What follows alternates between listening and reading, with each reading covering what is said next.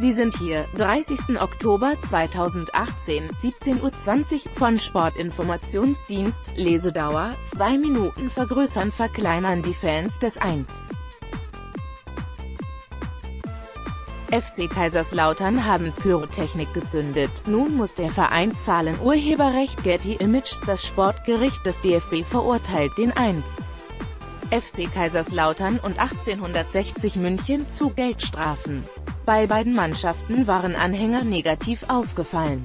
Das Sportgericht des Deutschen Fußballbundes DFB hat die Drittligisten 1.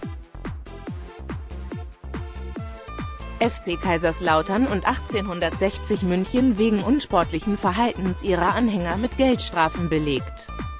Kaiserslautern muss 7.175 Euro zahlen, 1860 München 3.200 Euro. Während des Drittligaspiels bei Karl Zeiss Jena am 22. September wurde im Lauterer Zuschauerbereich Pyrotechnik gezündet. Es kam zu einer starken Rauchentwicklung, wodurch sich der Wiederanpfiff um rund drei Minuten verzögerte.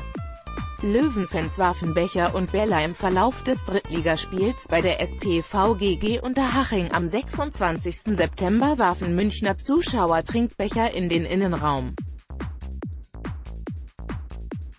Darüber hinaus wurden während des Ligaspiels gegen die Würzburger Kickers am 1. Oktober rund 30 Tennisbälle aus dem Münchner Zuschauerbereich auf das Spielfeld geworfen, woraufhin die Begegnung für etwa 40 Sekunden unterbrochen werden musste. Von Sportinformationsdienst